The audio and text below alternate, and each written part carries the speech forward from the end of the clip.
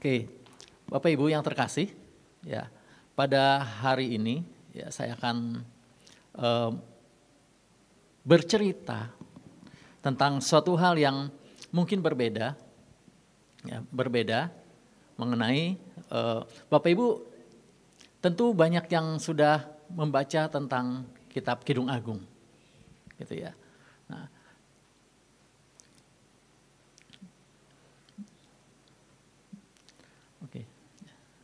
Nah, menurut Bapak Ibu, kitab Kidung Agung itu berbicara tentang apa?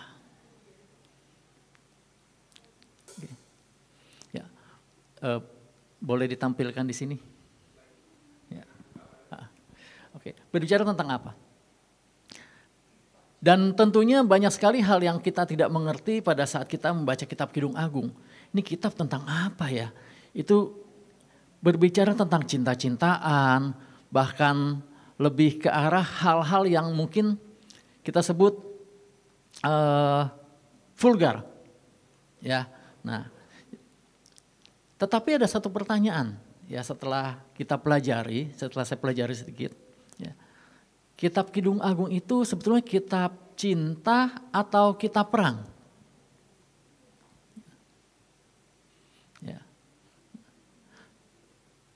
Kitab cinta atau kitab perang? Nah kok bingung jadinya? Loh kok kitab perang? Jelas-jelas ini ngomongnya tentang cinta-cintaan, tentang berkasih-kasihan, tentang hal-hal yang vulgar, tentang hal-hal yang erotis. Nah, tapi kita akan coba membahas satu persatu. Uh, tentu tidak semua karena pasti memakan waktu yang cukup banyak, tapi kita akan mencoba untuk eh, pelan-pelan melihat, begitu ya. Oke, kalau dalam Kitab Kidung Agung ya Uh, ya, next yuk.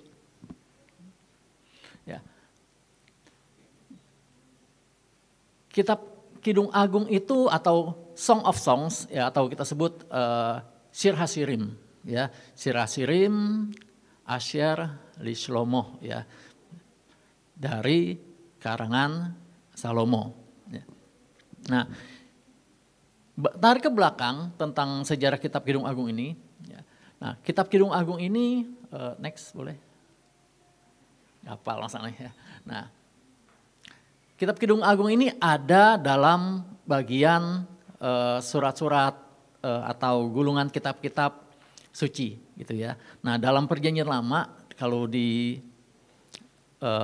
orang-orang uh, Yahudi ya, mereka kenal yang namanya Tanak gitu ya. Ada Torah itu lima kitab Musa, ya. Terus ada kitab nabi-nabi atau Nefim seperti Yesaya, Yeremia dan lain-lain. Terus ada kitab Ketuvim atau kitab-kitab tulisan-tulisan suci seperti Ayub, Esther, Daniel, Ratapan, Kidung Agung dan lain-lain. Nah, Kidung Agung ini termasuk dalam kitab-kitab suci.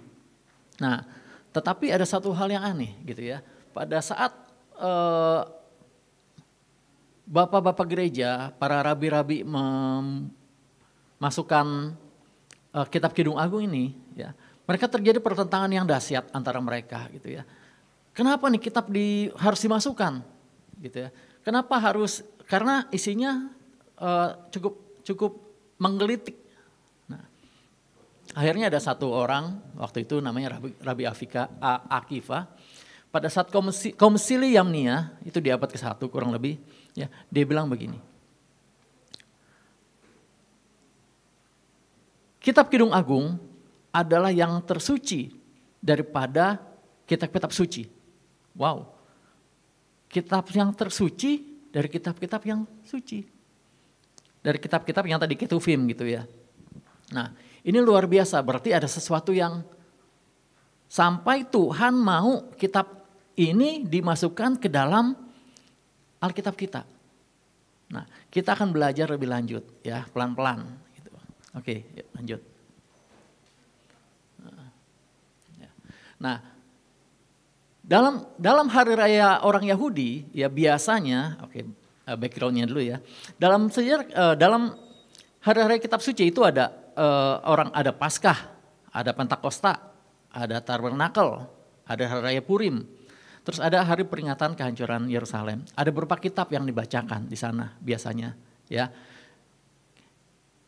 Kitab Kidung Agung dibacakan pada Paskah. Kita perut pada pembacaan Pentakosta. Tabernakel itu dibacakannya kitab pengkhotbah. Hari Raya Purim dibacakannya Esther. Nah, pada hari kehancuran Yerusalem yaitu dibacakan ratapan. Nah, hari raya yang terbesar dalam peringatan hari raya orang Israel itu adalah hari raya Paskah di mana mereka keluar dari Mesir. Tapi justru yang dibacakan adalah kitab Kidung Agung Bapak Ibu. Nah, sungguh menggelitik di hari raya yang paling suci, ya, hari raya yang paling besar, ya, yang dibacakan adalah kitab Kidung Agung. Ya. Nah, oke, okay, lanjut. Nah, nah, dalam kitab Kidung Agung ini ada beberapa tokoh Bapak Ibu, ya. Satu gadis sulam, ya. Oke. Yang kedua adalah raja, ya. Yang ketiga adalah gembala, yang keempat adalah putri-putri Yerusalem. Gitu, ya. Jadi kita bahas juga satu-satu gadis itu sulam itu siapa, raja itu siapa, gembala itu siapa, putri-putri Yerusalem itu siapa. Nah, tetapi Bapak Ibu, saya yakin sebagian ada yang sudah pernah baca, sebagian ada yang uh, belum baca gitu ya. Bagi yang sudah baca pun tentu bingung. Ini ngomongnya gimana ini? Tulisannya susah dimengerti. Karena kitab Kidung Agung ini salah satu memang kitab yang sulit dimengerti karena antara satu uh, ayat dan persatu ayat itu bisa uh, berbeda-beda sehingga diperlukan yang namanya sedikit imajinasi. Gitu. Sedikit imajinasi dan diperlukan juga uh, keterampilan, maksudnya talenta dalam menafsirkan karena kitab Kidung Agung ini kan dibentuk dalam bentuk uh, lagu atau drama yang saling saut menyaut. Sehingga kita perlu berimajinasi ini kira-kira siapa yang ngomong, ini kira-kira siapa yang ngomong gitu ya. Baru setelah itu kita dapat menangkap kira-kira maksudnya seperti ini gitu ya. Nah, dalam penafsiran kitab Kidung Agung ya, itu ada beberapa penafsiran ya. Satu adalah uh, di mana bahwa gadis sulam ini adalah menikah dengan Raja Salomo dan di mana Raja Salomo ini adalah uh, seorang raja dan juga gembala.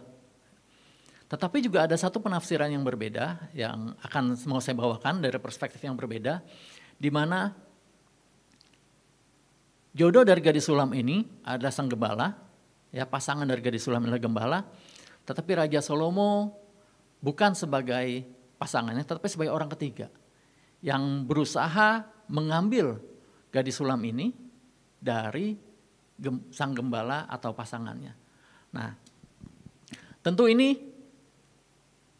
berbagai macam perspektif. Ya, jadi teman-teman, Bapak Ibu bisa melihat berbagai perspektif yang ada supaya kita bisa menjadi kaya ya bukan untuk diperdebatkan tapi supaya kita menjadi kaya. Supaya dengan hal ini kita dapat melihat. Dan kita dapat mengambil hikmatnya. Kurang lebih begitu ya. Oke yuk kita lihat. Oke kita akan next. Ya apa sih Salomo? Ya jadi ceritanya kurang lebih seperti ini. Ada seorang gadis di perkebunan Baal Hamon ya. Di situ dia ibaratnya ditawan oleh seorang raja dalam hal ini Raja Salomo. Dibawa ke perkemahannya, ya, lalu dipinang oleh Raja Salomo, ya. Setelah itu dia dibawa ke Yerusalem. Ya. Lalu apa yang ditawarkan oleh Salomo? Sementara gadis ini sudah punya pasangan, sudah banyak punya kekasih hatinya, yaitu seorang gembala muda. Ya. Nah, apa yang ditawarkan Salomo? Harta, satu sosial, kekuasaan, Lalu puisi seperti gembala dan satu lagi erotisme atau seks. Ya. Nah, ini merupakan penggambaran Bapak Ibu daripada gadis sulam ini atau gadis muda ini penggambaran daripada kita anak-anak Tuhan atau gereja Tuhan. Karena kita adalah mempelai Kristus, betul ya. Nah, gembala tentu penggambaran daripada Tuhan Yesus Kristus. Salomo ya itu menggambarkan dunia yang punya harta, yang punya satu sosial, yang punya kekuasaan, yang punya kekuatan dan lain-lain. Pokoknya komplit. Ya. Tapi apakah se seorang gadis muda ini atau anak Tuhan ini bisa bertahan terhadap tawaran harta, tawaran satu sosial, tawaran kekuasaan, dan lain-lain. Kita akan lihat lebih lanjut dan bagaimana yang akan terjadi. Karena itulah inti daripada kitab Kidung Agung ini. ya, Di mana anak Tuhan harus dapat bertahan dalam menghadapi cobaan dunia ini. Ya, yuk kita lanjut. Ya. Nah, gadis sulam atau sulamit Ibrani dalam bahasa Ibrani sulamit ya disebut sebagai mempelai perempuan dan sebagai tokoh utama dalam kitab Kidung Agung ini ya. Nah, beberapa penafsir beranggap bahwa sulamit adalah variasi dari kata sunamit atau gadis sunem ya. Lanjut. Nah, sunem sendiri ya arti-arti harfiahnya adalah tempat kedamaian ya tempat kedamaian ganda. Itu suatu kampung di daerah bagian Isakar, ya, itu dekat Israel, itu ada dekat uh, dalam Yosua 19 ayat 18 itu disebutkan. Sunem merupakan tempat perkemahan orang Filistin sebelum pertempuran di Gilboa. Juga di Sunem ini Elisa sering nginep ya di rumah seorang janda, ya. Nah, di Sunem ini juga Nabi menghidupkan kembali anak yang sudah mati dari nyonya rumah. Ya, terus perempuan ini yang lahir selaras dengan putra perempuan ini lahir sesuai dengan nubuatan daripada Nabi Elisa pada saat itu. Ya, dari Sunem juga nih ada gadis Abisak yang cantik jelita yang dijemput untuk menghibur dan merawat Raja Daud pada usia tuanya. Lalu kita tahu atas permintaan Adonia supaya Raja Daud memberikan kepada Adonia menjadi istrinya. Tapi kemudian permintaan ini dibayar dengan nyawanya. Ya. Dia dibunuh oleh Salomo untuk menegakkan kekuasaan. Ya. Nah, gadis Sulam ini juga diper, diperkirakan berasal dari Sunem dengan pertimbangan hubungan kata Sulamit dan Sunamit. Oke, lanjut. Nah, posisinya di mana?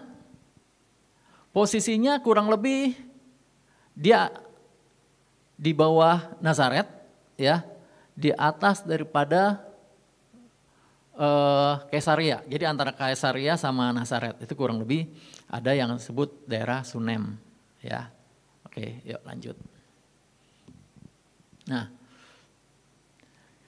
siapa sih gadis sulam ini? Ya, nah profil gadis sulam ini dia orangnya hitam, hitam manis. Ya, makanya disebutkan dalam kidang kidung, kidung ayat 5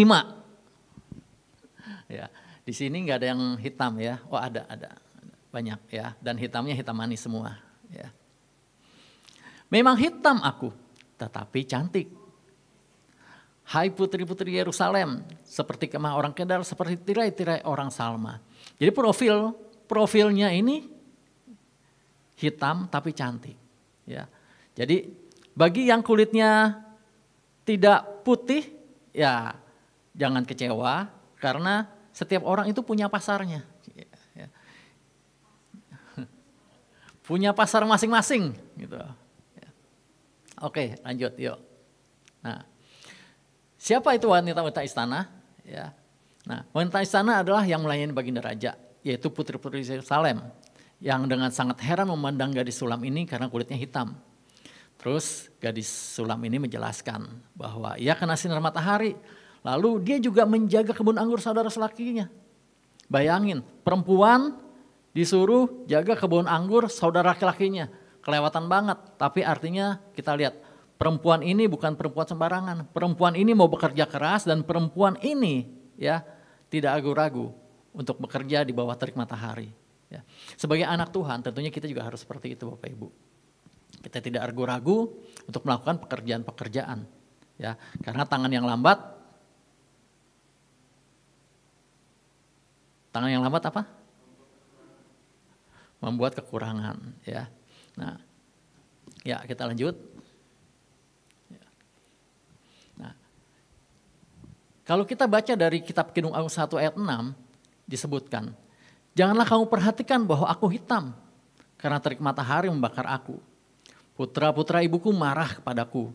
Aku dijadikan mereka penjaga kebun anggur. Kebun anggurku sendiri tak ku jaga, kelewatan banget ya. Disuruh jaga sampai kebun anggurnya nggak dijaga. Gitu.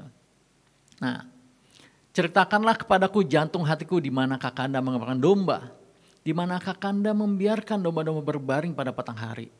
Karena mengapa aku akan menjadi serupa pengembara dekat kawan-kawan domba teman-temanmu. Di sini saya sebutkan ya, di sini dibalas oleh wanita istana. Jika engkau tak tahu percakapan ya percakapan. Jika engkau tak tahu, hai jelita di, di antara wanita, ikutlah jejak-jejak domba dan gembalakanlah anak-anak kambingmu dekat perkemahan gembala. Dengan kuda betina para kereta-kereta kau kuumpamakan engkau manisku. Lalu apa yang terjadi Bapak Ibu? Jadi ceritanya si gadis sulam ini sudah dibawa ke perkemahan. Di perkemahan itu ada wanita-wanita Yerusalem ya wanita-wanita Yerusalem ini mulai menggosok, ya, mulai mendekati dia, mulai berkenalan dengan dia. Ya, yuk kita lanjut. Ya. Nah, apa yang kemudian terjadi Bapak Ibu? Di sini wanita-wanita Yerusalem mulai menawarkan, mulai mengeluarkan bisanya. Ya. Dibilang, mulailah pipimu di tengah-tengah perhiasan-perhiasan dan lehermu di tengah kalung-kalung. Kami akan membuat bagimu perhiasan-perhiasan emas dengan manik-manik perak. Bapak Ibu, wanita-wanita Yerusalem itu ibaratnya begini. Seorang dari kita, ya, kita bayangkan seorang dari kita dicabut dari tempat kita berada dan kita dicemplungkan ke suatu tempat. Ya, suatu dunia yang kita tidak kenal. Dan di sana kita ditawarkan harta. Ya. Ditawarkan harta. Ya. Emas, ya, perak untuk dipakaikan di kita. Sebetulnya sangat boleh dibilang sangat sedikit cewek atau wanita yang akan menolak kalau dipakaikan kalung emas perak. Betul gak? Apakah ada yang menolak kalau dikasih emas perak di sini? Gak ada gitu ya. Oke. Nah, tapi inilah yang pertama ditawarkan harta. Ya. Nah lanjut, yuk. Wanita di sana bilang, kami akan membuat bagimu perhiasan-perhiasan emas dengan manik-manik perak. Sementara sang raja duduk di pada mejanya semerbak bau narwastuku. Tapi kemudian gadis sulam ngomong apa? gitu ya. Hatinya ternyata masih tertambat pada kekasih hatinya. Ya, dia bilang begini, bagiku kekasihku, bagikan sebungkus mur tersisip di antara buah dadaku. Bagiku kekasihku setangkai bunga pacar di kebun anggur NGD. Nah, pada saat ini ya ibaratnya ditawarkan ya, lu lepasin pacar lu ya. Tapi lu akan mendapatkan yang lebih baik dapat raja, dapat emas, ya. Dan kita tahu Raja Salomo itu pada saat itu belum terlalu tua, ya. Karena istrinya baru 60 dan gundiknya baru 80, ya. Jadi belum banyak. Pada ke, pada di ujungnya kemudian kan istrinya menjadi 700, gundiknya menjadi 300, ya. Dan belum terbilang banyaknya gadis-gadis gitu ya. Jadi banyak banget gitu ya. Nah, tetapi apa yang terjadi Bapak Ibu ya? Raja Salomo ini ya, dia menawarkan segala sesuatunya buat si gadis sulam ini. Dan tentunya Bapak Ibu nggak cuman harta yang didapat. Kalau misalnya gadis sulam ini menerima pinangan daripada Raja Salomo. Selain harta, dia akan mendapat status sosial. Ya. Siapa sih yang nggak mau menjadi selir raja atau jangan-jangan dijadikan menjadi ratunya? Gitu ya. Tentu status daripada dirinya terangkat, status dari keluarganya juga terangkat. Nah, setiap dari kita tentu mau yang namanya status kita terangkat dan status sosial kita juga terangkat. Yang tadinya kita tidak siapa-siapa, bukan siapa-siapa, mendadak naik tinggi menjadi apa-apa, menjadi siapa. Ya. Nah, dan itu yang terjadi. Tetapi keteguhan daripada gadis sulam ini ya tetap tertuju kepada kekasih hatinya gitu yaitu si eh, gembala muda tadi. Ya, kita lanjut. Gembala kekasih datang ini di skip aja deh, biar biar nggak lama. Ya lanjut. Dia bilang begini, ya. Gadis sulam ini selalu menolak dengan begini. Dia selalu ingat pada kekasih hatinya. Aku punya kekasihku dan kepunyaanku kekasihku yang mengembangkan domba-domba di tengah-tengah bunga bakung. Ya. Next. Ya. Nah, setelah di oleh Salomo ditawarkan segala macam hal yang baik, kita bisa buka sih di Kidung Agung 1 ayat 15 eh, tadi, boleh sebentar. Dari kitab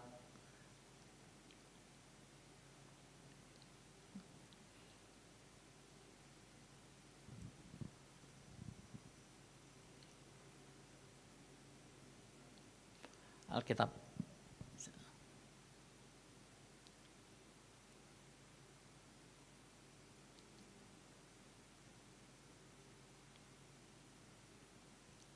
Ya, gitu. Nah, ini adalah satu pujian daripada Salomo, ya. Kita lanjut ya, kita baca. Lihatlah, cantik engkau manisku, sungguh cantik engkau, bagaikan merpati matamu. Lanjut, next. Nah, nah dibalas oleh si gadis. Oh sorry, ini gembala mudanya yang ngomong dan ini yang tadi gembala mudanya, yang ini yang ngomong adalah uh, si gadis sulam. Lihatlah tampan engkau. Jadi pada saat dipertemu di perkemahan di penjara tadi, gembalanya itu ternyata bisa datang, Bapak Ibu. Ya, nah, lihatlah tampan engkau, kekasihku, sungguh menarik, sungguh sejuk petiduran kita. Ya, ya lanjut. Dari kayu aras balok-balok rumah kita, dari kayu eru papan dinding-dinding kita. Nah, Terus dia menjawab begini, ya.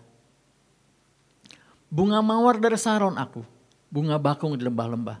Nah, kita balik lagi ke PowerPoint. Nah. Lanjut, ya. Raja Salomo mencoba menawarkan hal-hal yang baik, suatu kemewahan, suatu saat sosial bagi si gadis sulam. Tetapi dia menjawab begini, aku tuh cuma apa atuh? Aku tuh cuman mawar saron. Kok jadi Bandung nih? Aku tuh cuma mawar saron yang lembah-lembah. Yuk kita lanjut. Gadis Sulam menolak cinta Salomo. Ya, cuman bunga bakung di lembah-lembah. Ya, kalau bahasa Ibraninya Anika Faselet. Sosanat Ha'amakim gitu ya. Jadi kavaselet itu artinya adalah bunga e, mawar saron, ya bunga mawar. Tetapi tentu bunga mawarnya berbeda karena bunga mawar itu tentu bentuknya adalah cantik gitu ya dengan kelopak yang banyak. Sedangkan kavaselet yang dimaksudkan hal ini adalah bentuknya seperti bunga lili, ya bunga yang sangat sederhana yang tumbuhnya itu di pelataran-pelataran. Kalau boleh, nah mungkin seperti ini nih Nah ini kalau saya ambil kurang lebih seperti ini bunganya, ya pas cocok.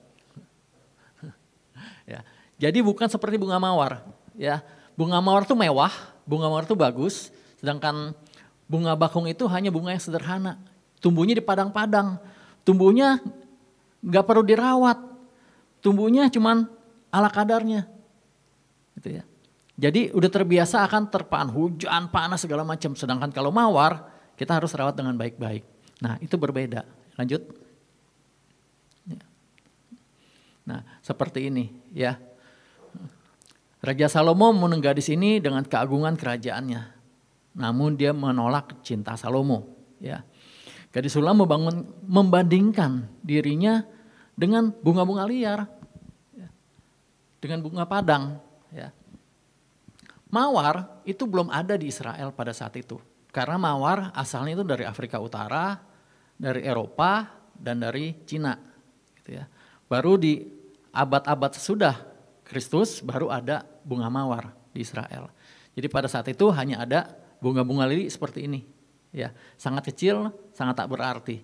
Itu yang dibandingkan. Ya. lanjut. Nah, putri-putri Yerusalem adalah satu lingkungan di mana kita berada. Satu teman-teman di mana kita berada. Ingat, pergaulan yang buruk dirusakkan oleh kebiasaan yang baik. Kita dapat terbawa oleh teman-teman kita, kita dapat terbawa oleh lingkungan kita. Dari yang baik bisa menjadi yang buruk, itu tergantung akan kekuatan eh, keinginan kita tentunya. Akan kedekatan kita dengan Tuhan. Tapi pada saat kita terbawa ya oleh lingkungan dan itu banyak sekali terjadi, maka kita akan hancur. Kita akan terus menerus di dalam itu, dalam satu pusaran tersebut. Nah, si gadis sulam dia tahu bahwa putri-putri Yerusalem ini atau lingkungannya berusaha mendorong dia, membawa dia ke arah yang dia tidak mau, membawa dia ke arah ketidaksetiaan, membawa dia ke arah yang akan membuat dia menolak dirinya sendiri. Gitu ya. Sehingga dia menyumpahi, ya. Kusumpahi kamu putri-putri Yerusalem demi kijang-kijang atau demi rusa-rusa betina di padang. Jangan kamu bangkitkan dan menggerakkan cinta sebelum diingininya. Ya. Jadi itu yang dilakukan oleh putri-putri Yerusalem, ya. Menggerakkan cinta sebelum diingininya. Yuk kita lanjut. Ya. Nah, ada beberapa ya uh, lanjut lu sebelumnya. Ini ada salah. Lanjut. Oke. Uh, balik lagi ke depan. Sorry. Ya. Lalu ada yang Salomo uh, lakukan, ya bisa dicariin. Ya. Salomo memamerkan kekuasaannya. Ya. Pada saat uh, dibuka di di depan bro yang kekuasaan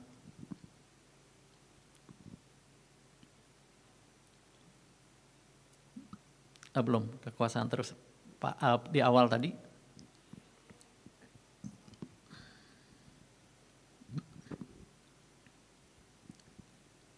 Lanjut. Terus terus terus. Ke belakang. Eh ke depan sorry. Ke depan, ke depan. Di awal-awal.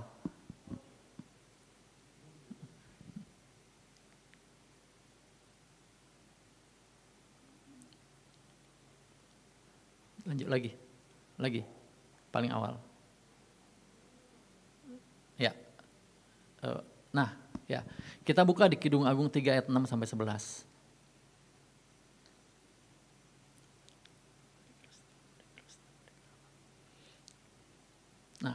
kita baca ya. Apakah itu yang membumbung dari padang gurun seperti gumpalan-gumpalan asap tersaput dengan harum mur dan kemenyan dan bau segala macam serbuk wangi dari pedagang. Next. Lihatlah itu Joli Salomo dikelilingi oleh 60 pahlawan dari antara pahlawan-pahlawan Israel. Jadi Salomo datang ya ke Yerusalem di mana saat itu gadis sulam sudah dibawa ke Yerusalem ya. Jadi gadis sulam itu bisa seakan melongok dari jendela dan dia melihat dari jauh. Gila, Salomo keren banget. Dia datang dengan joli, ya. Dia datang uh, di tandu, ya. Dan ada 60 jenderal yang bersama dia. 60 pahlawan Israel yang gagah perkasa. Wah keren-keren banget. Ibaratnya waktu itu mungkin dia datang, kalau zaman sekarang datangnya dengan Lamborghini. Dikelilingi oleh, wah bodyguard-bodyguard gede, tinggi gede gitu ya. Nah jadi suatu hal yang luar biasa. Keren banget tapi apa yang terjadi? Ya, itu tetap tidak menggoyahkan dia. Saat itu Israel boleh dibilang mungkin seperti uh, negara adik kuasa pada saat itu dengan kekayaan yang luar biasa. Dia mempengaruhi dunia di mana para pemimpin dunia juga datang mencari Salomo. Kita tahu hal seperti itu dan hal itu tetap tidak menggoyahkan daripada si gadis sulam. Ya, yuk lanjut ke hal 8-nya. Nah, oke, kita langsung ke yang tadi terakhir. Ya. Akhirnya harta sudah ditawarkan, tidak berhasil. Kekuasaan sudah tawarkan, tidak berhasil. Lalu Salomo menawarkan hal yang terakhir. Ya, kita lihat di Kidung Agung ke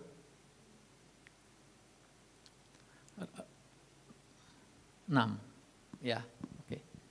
Inilah rayuan Salomo yang terakhir. Ya.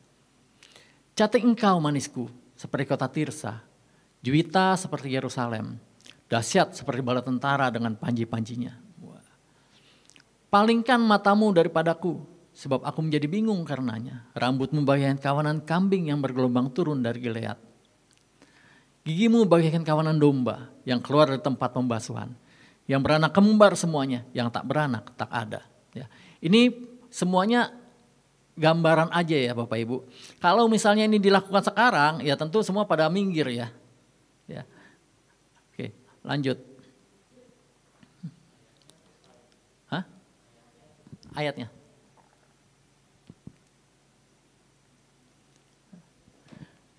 Bagikan buah belahan buah delima pelipismu di balik telukungmu. Next. Lalu permaisuri ada 60, selir 80, darah-darah tak terbilang banyaknya. Luar biasa ya. Tetapi dialah satu-satunya merpatiku. Bayangin, dari sekian banyaknya cewek ya, segambreng, ini cuma satu yang dia pengen banget ya. Tetapi dialah satu-satunya merpatiku, idaman-idamanku, satu-satunya anak ibuku, ibunya, anak sayangan bagi yang melahirkannya. Putri-putri melihatnya dan menyebutnya bahagia. Permaisuri-permaisuri dan selir-selir memujinya. Lanjut. Siapakah dia yang muncul laksana fajar merkah, indah bagaikan bulan purnama, bercahaya bagaikan surya, dahsyat seperti bala tentara dan panji-panjinya. Waduh keren banget ini. Ya. Ke kebun kenari aku turun melihat kundum-kundum lembah, melihat apakah pohon anggur berkuncup dan pohon-pohon delima berbunga. Tak sadar diri aku, kerinduanku menempatkan aku di atas kereta orang bangsawan. Kembalilah, nah gadis sulam nih kayaknya udah hatinya udah tidak ada di Salomo. Maka dia berkata, kembalilah, kembalilah ya gadis sulam, kembalilah, kembalilah. Supaya kami dapat melihat engkau. Mengapa kamu senang melihat gadis sulam itu? Seperti melihat tarian-tarian perang. Betapa indah langkah-langkahmu dengan sandal-sandal itu. Putri berwatak luhur. Nah, artinya si gadis sulam ini adalah putri yang berwatak luhur. Lengkung pinggangmu bagikan perhiasan, karya tangan seniman. Pusarmu seperti cawan yang bulat. Wah ini mesti nggak bisa dibacain ya. Lanjut. Seperti dua anak rusa buah dadamu, seperti anak kembar kijang. Lehermu bagikan menara gading, matamu bagian telaga di Hesibon. Dekat pintu gerbang Umbat Rabim, hidupmu seperti benar di gunung Libanon yang menghadap kota Damsik. Jadi Salomo ini dalam merayunya dia sudah mulai menggunakan fisik dia sudah mulai melakukan rayuan-rayuan maut. Ya, kalau di sini ada, wait, maaf. Saya sudah mengelaikan rayuan-rayuan maut. Ya, saya tidak berani nunjuk orang takut uh, yang nonton tersinggung. ya, nah, lanjut. Kepalamu seperti bukit Karmel, rambutmu kepalamu merah lembayung seorang raja tertawan dalam kepang-kepangnya.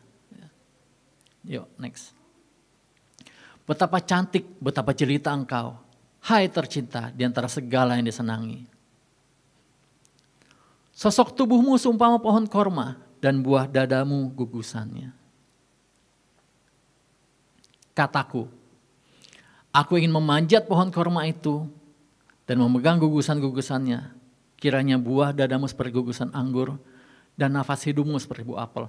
Jelas ya, dalam hal ini Salomo harta, tahta sudah tidak berhasil, yang dilakukan adalah pendekatan emosi dan pendekatan secara erotisme.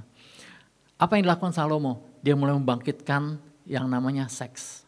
Ya, dia mulai membangkitkan dengan erotis. Dia membangkitkan nafsu dasar daripada manusia. Karena manusia itu kan procreation.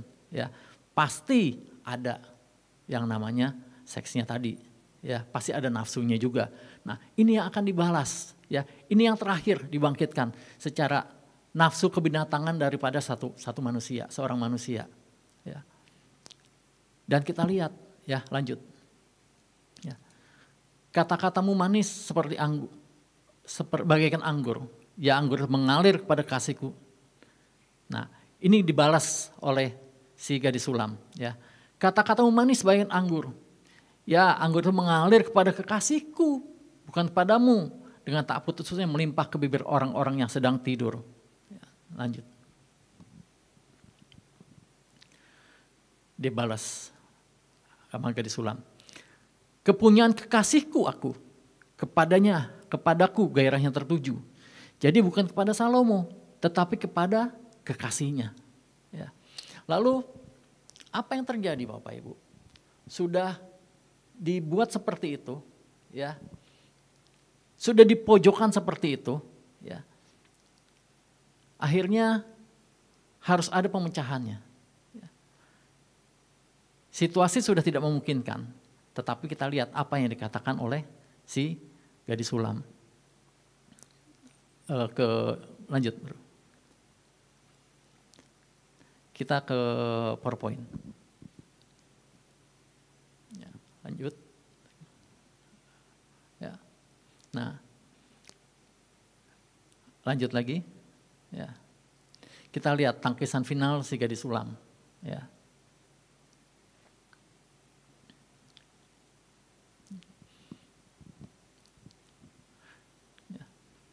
Dia bilang begini kepada Salomo. Salomo yang ngajakin dia tidur, Salomo yang ngajakin dia untuk berbuat seks, dia jawab seperti ini kepada dia. Oh seandainya engkau saudaraku laki-laki yang menyusu pada buah dada ibuku dan akan kucium engkau. Bila ku jumpai di luar, karena tak ada orang yang akan menghina aku. Artinya dia bilang begini, kalau engkau saudaraku laki-laki ya, gue nyium, gue mencium lu nggak masalah gitu. Karena kita merupakan saudara yang menyusu pada buah dada yang sama. Ya, kita punya orang tua yang sama sehingga kucium engkau tidak tidak ragu bila kucium. Tetapi bila aku melakukan hal ini, maka orang akan menghina aku. Kurang lebih seperti itu ya. Nah, lanjut. Bila engkau saudaraku, akan kubing engkau dan kubawa ke rumah ibuku supaya engkau mengajar aku dan aku akan kuberi kepadamu anggur yang harum untuk diminum, air buah delimaku. Lanjut. Dan tangan kirinya ada di bawah kepalaku dan kanan tangan kanannya meluk aku. Saudara, ya. Oke. Balik ke itu. Ya. Jadi yang dilakukan ini si gadis sulam ini juga luar biasa Bapak Ibu. Ya. Pada saat dihadapkan oleh serangan yang terakhir di mana nafsunya coba dibangkitkan, ya, dia masih bisa mengelak. Ya. Engkau sudah seperti, ibaratnya engkau sudah seperti saudaraku, aku tidak mau berbuat seperti itu. Orang bilang sudah kokozon, ya. sudah seperti saudara sendiri. Kan biasa begitu ya kalau gadis-gadis cewek-cewek, kalau ada yang naksir, ah aku sudah udah seperti koko sendiri. Ada udah anggap kayak teman, janganlah kita uh, pacar-pacaran, ntar kita jadi rusak hubungan kita. Nah seperti itu. Ya, oke, Bapak Ibu lanjut ya. Kita baca ini. Ke, kepunyaan kekasihku aku, kepadaku gairahnya tertuju. Air yang banyak tak dapat memadamkan cinta. Sungai-sungai tak dapat menghanyutkannya. Sekalipun orang mulai segala harta benda, rumahnya untuk cinta, namun ia pasti akan dihina. Bapak Ibu, hati tidak bisa dibeli. Demikian juga dengan hati kita Bapak Ibu. Hati kita untuk Tuhan kita, Tuhan Yesus Kristus tidak dibeli. Tidak dapat dibeli. Walaupun ya, walaupun kita diberikan harta, ya, walaupun dunia berusaha mengalihkan pandangan kita, Walaupun dunia memberikan apa yang baik bagi dunia, tetapi hati kita tidak dibeli. Karena percuma, ya, percuma seorang mendapatkan seluruh isi dunia bila akhirnya jiwanya menjadi binasa. Lanjut. Ya. Nah, gadis sulam ini Bapak Ibu diibaratkan sebagai Hawa yang kedua. Ya. bila Hawa yang pertama gagal, ya, bila Hawa yang pertama gagal dan dia terjatuh dalam cobaan tersebut dan tinggal dia berbuat dosa, Hawa yang kedua dia berhasil untuk dapat mengalahkan daripada strategi iblis ini. Ya. Demikian juga Bapak Ibu, kita harus menjadi Hawa yang kedua. Ya. Kita harus menjadi gereja yang tahan. Kita harus menjadi gereja yang tetap setia kepada Tuhan kita. Ada amin. Amin. Ya. Yuk lanjut. Jadi Bapak Ibu, kitab Agung Agung kitab Kidung Agung itu adalah kitab perang antara anak Tuhan dengan dunia. Di mana dunia berusaha mengambil kita, ya, menempatkan kita ke suatu tempat di mana dan memojokkan kita dengan berbagai hal-hal duniawi, baik itu harta, kekuasaan, baik itu uh, erotisme, baik itu seks. Tetapi sebagai anak Tuhan, ya kita harus punya strategi, kita harus punya kreativitisme untuk dapat menghindar dan dapat berjalan dengan sesuai dengan kehendak Tuhan. Ya. Ada amin? Amin. Mari kita berdoa.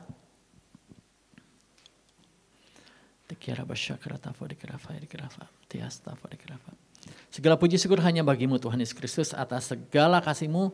Tuhan, Biarlah firman ini boleh dibungkus dengan dan materaikan oleh darahmu. Dan biarlah Tuhan kami boleh menjadi seperti gadis sulam Tuhan. Menjadi mempelai Kristus yang setia. Mempelai Kristus yang dapat mempertahankan dirinya. Mempelai Kristus yang dapat mempertahankan kesucian, kekudusan. Sehingga kami dapat bersiap untuk menjadi mempelaimu yang sejati dan menyambut kedatanganmu. Terima kasih Tuhan dan biarlah Tuhan kami serahkan segala sesuatunya di dalam namamu. Dalam nama Tuhan Yesus Kristus, haleluya. Amin.